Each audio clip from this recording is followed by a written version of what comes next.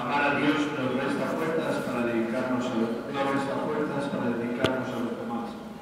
Cuanto más bebemos del manantial del amor, más podremos avanzar en el camino de nuestro vivir, derramando generosidad, alegría, paz, fraternidad y perdón.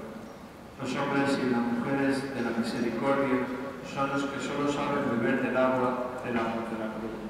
Padre nuestro que estás en el cielo, santificado sea tu nombre. Venga a nosotros reino.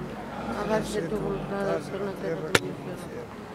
Danos de nuestro pan de cada día, perdona nuestras ofensas, Como también nosotros perdonamos a los que nos ofenden. No nos dejes caer en la